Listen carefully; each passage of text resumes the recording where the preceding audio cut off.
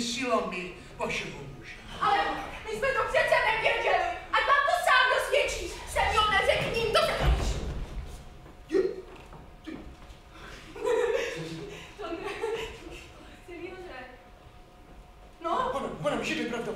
No, no, počkej, co je s tebou? Co je s tebou? No. Přineste ještě jednu, tchyně ji taky bude potřebovat. Jako živý. Jako živý, jen nos máš pičatý. Ano, on jenom trochu přebral. On se z toho vyspí a stane lidičky. Uklidněte se, drahá Mario, on už nevstane. Já vás ujišťuju, on žije. On jak křičí. Jistě jí to vlezlo na mozek. Počkej, to ve místnosti. Seniore, Seniore, probuďte se. a syni taky. On žije. Hej, no jo. Na poprvé je to vždycky těžké. Tak, pánové, můžu se vás na něco zeptat? Kdy se se mnou hodláte vyrovnat? Vyrovná. A, a za co? No za co? Za toho mrtvého. Ten muž leží rakvi. Takže pánové prachy na stůl. Peníze, peníze, to je jediné, nač myslíte, kalabušky, ne? A idea, to pro vás neznamená nic? Idea je dobrá, když z ní člověk může být živ. Člověk může být žít jenom z oficiální ideje.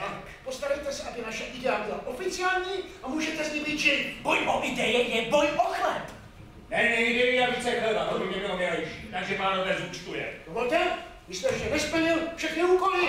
Jak to? Rozmnožil jste dopis na rozloučenou. Písař teda dopracuje. O, v tom případě může začít rozdělení. Sešla rána, ať ji uslyší tisíce lidí.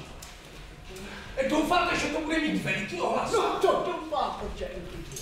Ale mám trochu stráda. Ten náš nebožtík není žádný eso. Kdyby se na jeho místě zastřelil nějaký prominent, řekněme takový gorký, to by bylo mnohem lepší. No to by bylo fantastické. Uvažujete nesprávně. Přeci vůbec není rozhodující, jaký to byl nebožtík. Mnohem důležitější je, jak to naservírujeme. Včera jsem mluvil s Feďou Petoninem. Vypravoval jsem mu o našem podsekarníkovi a tak jsem mu to vylíčil, že se do něj Feďa úplně zamiloval. No a teď, když je podsekarníkov mrtvý, co tomu může Feďa dodat? No smrt jako taková nemá vůbec žádný význam. Nakažlivá není smrt. Nýbrž důvod smrti. A ten si můžeme vymyslet. Musíme vyvolat šeptan. To je to hlavní! Vystavíme ho tři dny v kapli. A uspořádáme slavný pohřeb.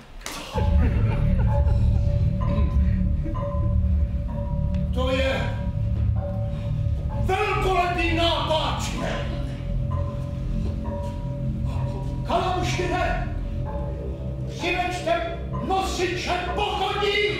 Letím, letím. Začneme. Začněme, otče! Požehnejte nám ctihodnosti! Už to začíná. Požehnán buď na věky